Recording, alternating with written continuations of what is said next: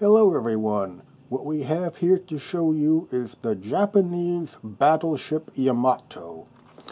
Now the Yamato was the largest battleship and the most powerful one that was ever built by any nation. The Japanese built the Yamato in the years leading up to the Second World War. They built her in complete secrecy because they, after they had withdrawn from all treaty obligations regarding the size of naval warships and the size of guns, and they wanted nobody to know about the advantage that they had in overwhelming firepower and armor protection. I'm not going to give a complete rundown of the specifications of the Yamato, but I will include that in on-screen text. As for the Yamato service history, in very brief, she was commissioned in late December 1941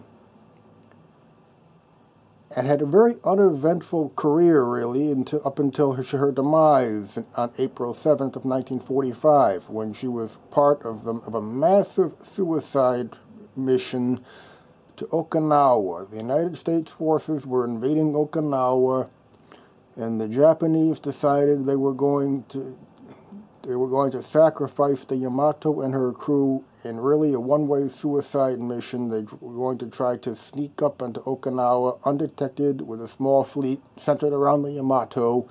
They were going to try, they were going to run the Yamato aground and use her main guns as field artillery to try to fend off the approaching Allied forces. It was a suicide mission from the get-go. Nobody in the Imperial Japanese High Command had any real hope that it would work. And the real reason they chose to do this was because of the, the Japanese unleashed the core of the kamikazes, and we tend to believe that it that the kamikaze missions were all involved aircraft pilots sacrificing themselves. And that is not really true. The Japanese were also willing to sacrifice entire warships as part of suicide missions, again, kamikaze missions. And that was the fate selected for the Yamato. The Japanese Imperial Command had decided that the naval that their naval air, air corps their, uh, their Naval Aviation Division had already provided so many kamikaze pilots brave enough, brave enough to sacrifice themselves for their emperor that they and they felt that the Japanese surface fleet should make the same sacrifices. So the Yamato and her crew were chosen to sacrifice to be sacrificed in a in a kamikaze mission, arguably the largest kamikaze mission ever, as a in order to boost the morale of the remaining of the remaining Japanese armed forces and and their population on the home front. So on the 7th of April, the United States intercepted United States forces, the United States Navy intercepted the Yamato en route to Okinawa, and they subjected her to a massive attack that one of the largest air attacks, I believe, on a single warship. And eventually, through through night, I believe 19 torpedoes and how, how many heavy armor-piercing bombs they dropped on her, but they finally inflicted enough damage that caused her to capsize and then eventually blow herself in half by her number two turret, main gun turret. There was a, she had a full crew at the time of over 2,000 personnel, and I believe only about 200 of them survived. So these were very, very brave sailors. They knew what their fate was going to be. They didn't complain or bellyache. They accepted that they were that they, they accepted the fact that they were selected to die for their country. So even though they were our enemies, I mean, we have to give credit for, for bravery where credit is due. Okay, I'm not going to go into any more about the ship's history. I'll put a link up for that, so where you can go to and read all about the Yamato. Now I'm going to explain here. This is the Tamiya's Wonder 350th kit. This is their new tool kit. And I also put on a wooden aftermarket wooden deck accessory to cover up some deck seams that were that, that, that we had Tamiya molded this model so they could also release a 1941 version of the of the ship, which which was a bit different. This model portrays the Yamato in April of 1945. When she was brand new in 1941 and in 1942, she didn't have as many anti-aircraft guns. They were added in 1944 to 45. She had additional secondary uh, guns for 15.5 centimeter uh, triple turrets on either side of the superstructure on the beam. Those were removed to make way for more anti-aircraft armament in April in, in, in 1944 and 1945 as noted. But Tamiya engineered this model so you so they could release an earlier tooling of her to portray the ship um, so portray a kit of the ship as seen in 1941 and in 1942. So the deck is made, and the, the wooden portion of the deck was molded in three pieces. And the only real issue I had with building this model is that those deck seams did not properly line up flush against each other. I had to sand down the seam pretty heavily and then rather than try and rescribe all of the molded on planking detail, molded in planking detail, I chose to just put on an aftermarket wooden deck, which was the quickest and easiest fix. And that worked out very well.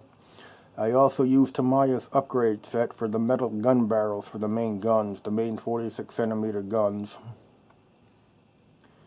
And all of the other photo etch parts which Tamiya included with the kit I put on. There's lots of them. I also use some gold medal model photo etched railings in the correct Japanese style.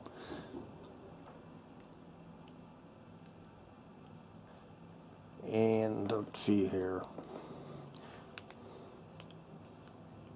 Also, I put on some 1 to 350th scale Japanese naval figures that are made by Fujimi, and you'll see them up close because I'm going to includes, I'm going to do some close-up passes of the model in macro mode of my camera.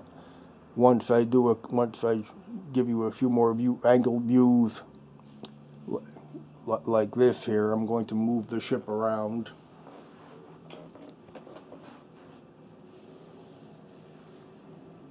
So I will come back in a moment and I will and we will see the ship from a different angle. Okay, here we are with a, with a different angle of the ship, looking at the bow, starboard side. I'll zoom in a little bit here for you. You can see the 46 centimeter main guns and the main gun turrets. Tamiya made this model so all of the gun turrets, even the secondary and, and the anti-aircraft gun turrets could rotate individually and the barrels could elevate individually. I don't I don't change any of that because for, for, for fear of breaking any of these small some of these small fine parts that you see on here, so I leave it as is. But they did give you the the uh, options to choose to change to choose and change the angle of, of all and direction of the guns.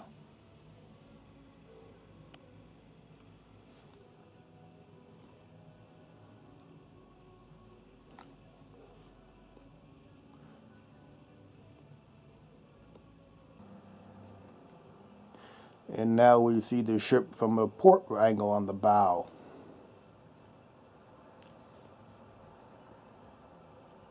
And I will zoom in again a little bit here for you.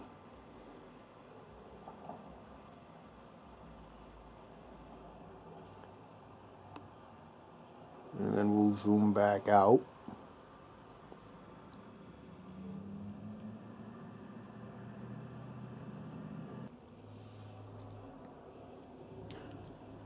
Now we will view the ship from the port side, port broadside.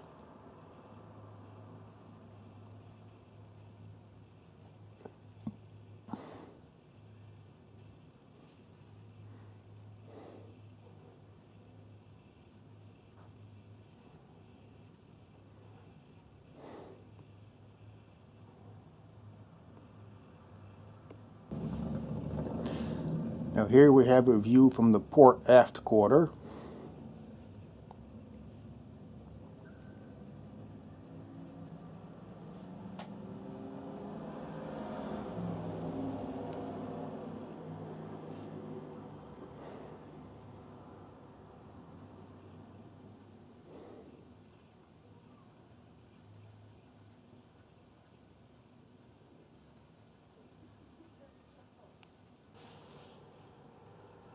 And we have a view from the starboard aft quarter here for you.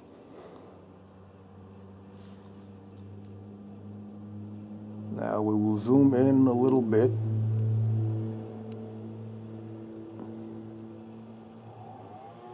I apologize for the noise in the background. My neighbor is, is presently trimming the hedges of around his house.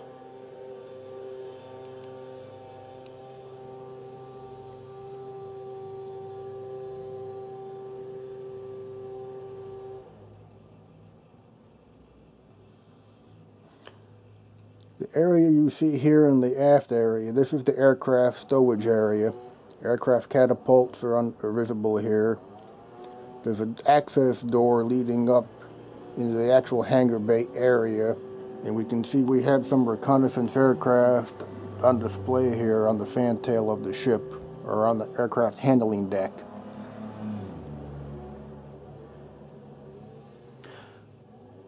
Okay, I'm going to come back now after a brief pause and give and give a nice up up close flyby of all of the details of the ship along the deck and the superstructure in the camera's macro mode. So we'll be right back.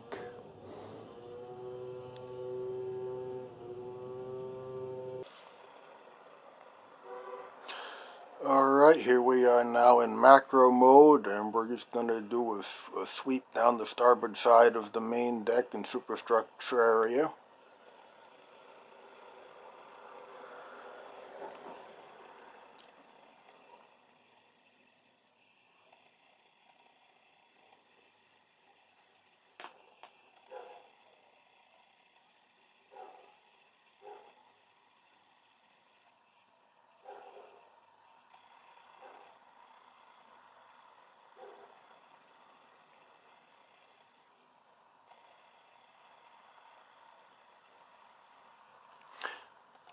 Now you can get a little bit of appreciation for the size of those 46 centimeter guns when compared to the human beings standing on the deck beneath them.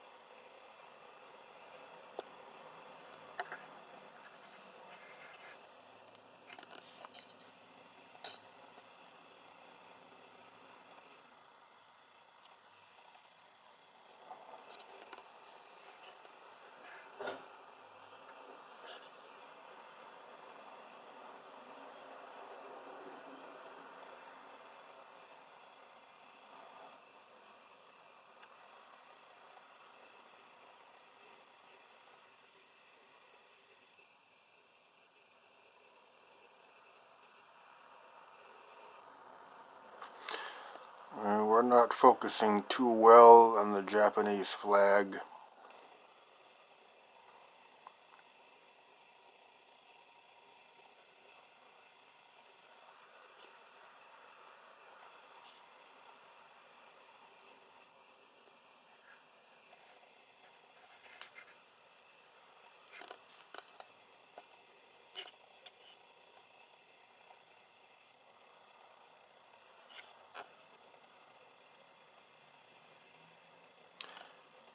These Fujimi Japanese naval figures I'm very impressed with. You can see they even have the jack, if you, if you can see close enough on your monitor, you can see that they even have the, the jacket crease on the front of the uniform jacket molded in. And just with a really, as well as other details in the clothing, with a simple paint job like you see here from normal viewing, they look just like a real person on the deck of a ship. It would be nice if they made some in different nationalities as well as some civilians for use with some of the larger ocean liner models in 1 or 350th that are available.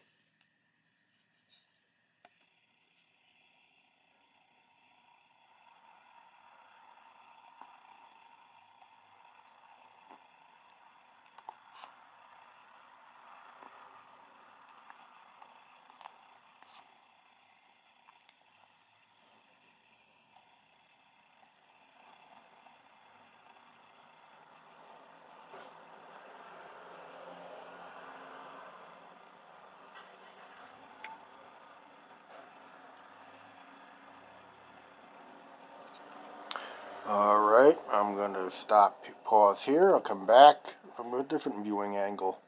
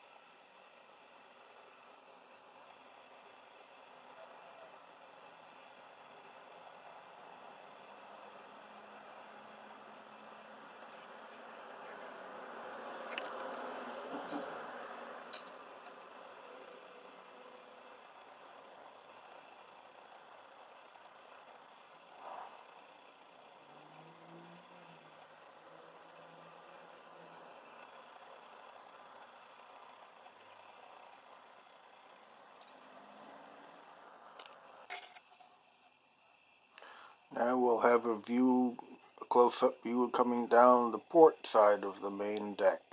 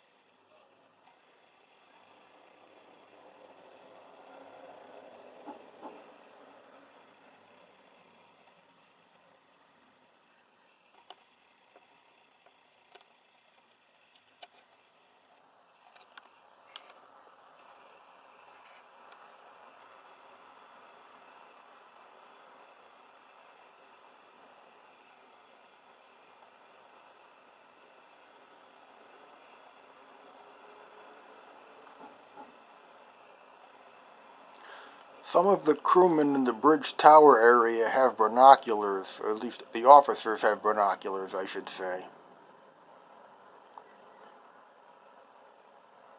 And the top platform deck, as you see, is the air defense tower, and there are all kinds of binoculars and other observational equipment located up there.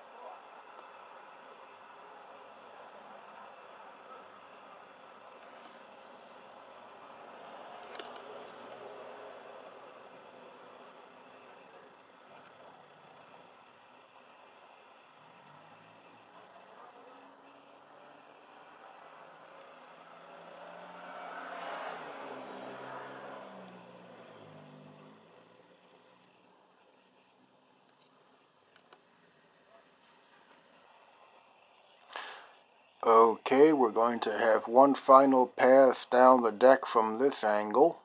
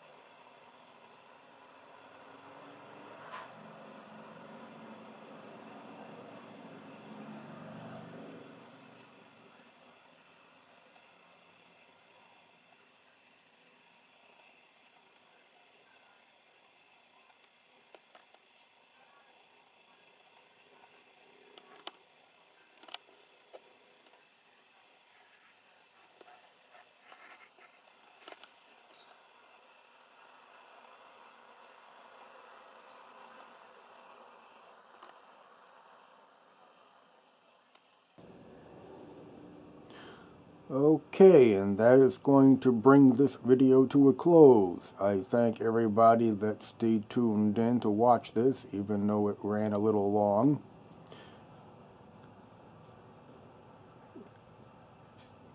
I'm going to wish everybody, depending upon where you are in the world, a good morning, good afternoon, or a good evening, and ask that you all take care.